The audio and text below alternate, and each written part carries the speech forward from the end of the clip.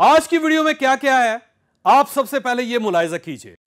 उस वक्त अकल और किस्मत एक दूसरे के करीब करीब खड़ी थी। किस्मत ने मुस्कुरा कर अकल की तरफ़ देखा।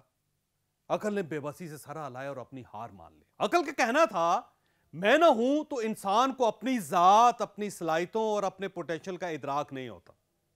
जबकि किस्मत का कहना था, अगर मैं किसी शख्स का हाथ ना पकड़ूं तो वह कबर तक अपने पोटेंशियल अपनी सलाहितों से फ़ायदा नहीं उठा सकता। शहर पहुंचकर वो ऑस्ट्रिया के किंग के मालियों में शामिल हो गया। अकल ने उसकी रहनुमाई की। लिहाजा उसने शाही बाग का सारा नक्शा बदल दिया। आपने अक्सर बड़े बड़े आलमों बड़े बड़े अकलमंदों और दानश्वरों को आम मामूली जहनीत के लोगों का मुलाजम या मशीर देखा होगा। मैं हूँ जावेद चौधरी और आप देख रहे हैं माइंड चेंजर। हमारे साथ एक साल में दस लाख लोग जुड़ चुके हैं। अगर आप इनमें शामिल नहीं हैं तो आप इस सुर्ख निशान को टच करके इस चैनल को सब्सक्राइब कर दीजिए। और घंटी के इस निशान को भी हल्का सा पुश कर दीजिए। मुझे यकीन है आपका यह फैसला आपका मुकद्दर बदल देगा। ऑस्ट्रिया के कदीम बाशिंदों का कहना था, एक बार अकल और किस्मत के दरमियान यह बहस हो रही थी कि हम दोनों में अहम कौन है।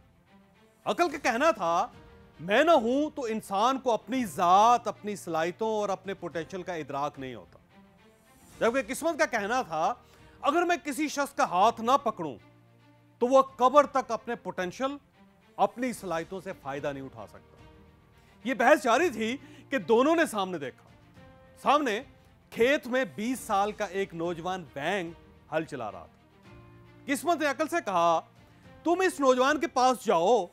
अगर तुमने इसको कामयाब कर दिया तो मैं बाकी ज़िंदगी तुम्हारी गुलाम बनकर गुजार दूँगी। और अगर तुम नाकाम हो गई तो तुम मुझे जहाँ देखोगे, तुम वहाँ से रुखसत हो जाओगे। अकल ने यह चैलेंज कबूल कर लिया।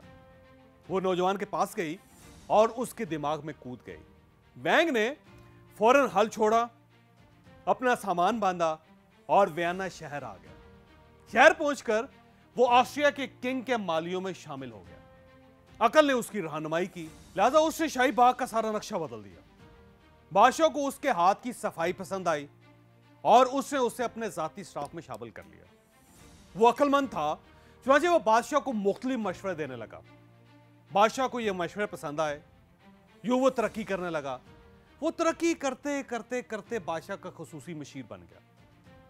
अब यह हकीकत है कि जब भी कोई आम शख्स तरक्की करता है तो उसके खिलाफ हसद शुरू हो जाता है। लोग जेलस हो जाते हैं उससे। बैंक के साथ भी यही हुआ। बादशाह के वजीरों, मशीरों और खादमों ने उसके खिलाफ साजिशें शुरू कर दी। यहाँ तक कि दरबारियों ने एक दिन उस पर नौजवान शहजादी के साथ फ्री होने का इल्ज़ाम लगा दिया। यह इल्ज़ाम साबित हुआ और बादशाह ने उसको मौत की सजा सुना दी। वैंग ने अकल की मदद से इस सजा से बचने की कोशिश की, लेकिन उसकी सारी कोशिशें नाकाम हो गई। यूँ सजाए मौत पर अमल दरामद का वक्त आ गया। किंग के फौजियों ने नौजवान को वियना शहर के मरकजी चौक में चबूतरे पर लटाया और शाही जिलाद तलवार लेकर उसके सर पर खड़ा हो गया। उस वक्त अकल और किस्मत एक दूसरे के करीब करीब खड़ी थी। किस्मत ने मुस्कुराकर अकल की तरफ़ देखा। अकल ने बेबसी से सरा हलाया और अपनी हार मान ली। इसके बाद किस्मत ने अकल से पूछा, क्या अब मैं ट्राई करूँ? अकल ने, हाँ, मैं गर्दन हला दी। इसके बाद अकल बैंक के दिमाग से बाहर आ गई और किस्मत ने नौजवान पर अपना साया कर दिया। ठीक उस लम्हे जलाद ने तलवार चलाई, तलवार स्लिप हुई। बैंक की गर्दन पर लगने की बजाय चबूतरे से टकराई और टूटकर दो हिस्सों में तकसीम हो गई। ठीक उस लम्हे शहजादी को बैंक पर तरस आ गया। उसने नौजवान की बेगुनाही की गवाही दे दी। बादशाह ने नौजवान की जान बख्श दी। उसे गले से लगाया, उसे वज़ीर अजम बनाया और शहजादी के साथ उसकी शादी कर दी। ऑस्ट्रिया के लोगों का कहना है वो दिन है और ये दिन है। अकल जहाँ भी किस्मत को देखती है, वो नदामत से सर झुकाती है और वहाँ से गायब हो जाती है। शायद यही वजह है कि तमाम खुशकिस्मत लोग अकल से पैदल होते हैं। मैं आगे बढ़ने से पहले आपको चंद लम्हों के लिए रोकूँगा। दौलत एटम बम की तरह होती है। एटम बम दुनिया में एनर्जी का सबसे बड़ा सोर्स है। यह सूरज के बराबर तवानाई पैदा करता है और एक एटम बम की एनर्जी हमारे जैसे मुल्क की पूरे दस साल की बिजली की ज़रूरत पूरी कर सकती है। जी हाँ, एक एटम बम बस इसमें एक मसला होता है। हम इस एनर्जी को कंट्रोल नहीं कर सकते। ये सेकंड के हज़ार में हिस्से में हर चीज़ को जिलाकर राख बना देती है।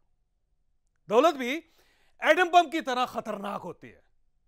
आप अगर इसे कंट्रोल ना करें तो यह भी आपको चंद लम्हों में जलाकर राख बना देगी। आप यह याद रखें, इंसान गुर्बत से नहीं मरते, दौलत से मरते हैं। ये भूख से नहीं मरते, खा खा कर मरते हैं। ये नाकाम होकर बर्बाद नहीं होते, ये कामयाब होकर जलील होते हैं। लिहाजा दौलत की मैनेजमेंट, यानी मनी मैनेजमेंट, दुनिया की सबसे बड़ी साइंस होती है। आप अगर एक बार अमीर हो गए तो आप बस फिर यह जान लें, आपके हाथ में एटम बम आ गया। और यह जब भी फटेगा यह सबसे पहले आपको जलाकर भस्म कर देगा। आपने एक ऐसा शेर पाल लिया है, आप जिसके दांतों से बच नहीं सकेंगे। और अगर आप बच गए तो यह आपकी ज़िंदगी का सबसे बड़ा कमाल होगा। हम 28 अगस्त को लाहौर में मनी मैनेजमेंट का पहला सेशन कर रहे हैं। हम इस सेशन में आपको अपने रिसोर्सेज को संभालने और उनमें इजाफे का तरीका बताएँगे। हम आपको सिखाएँगे आप अपनी दौलत को बचा कैसे सकते हैं? उसमें इजाफा कैसे कर सकते हैं? और उसकी एटमी एनर्जी से खुद और अपने खानदान को कैसे बचा सकते हैं? यह एक स्मॉल सेशन है। इसमें सिर्फ़ तीस लोग शामिल होंगे। अपनी सीट रिज़र्व करवाइए और सीखिए मनी मैनेजमेंट यह एक ऐसा कोर्स है जो अमेरिका में सिर्फ़ अरबपति लोग करते हैं। आप सेशन में शरीक होने के लिए हमसे इन नंबर्स पर रबता कर सकते हैं।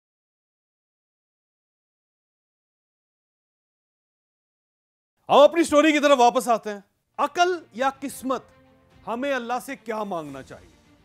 मेरा ख्याल है हमें अल्लाह ताला से खुशकिस्मती की दुआ करनी चाहिए। क्यों?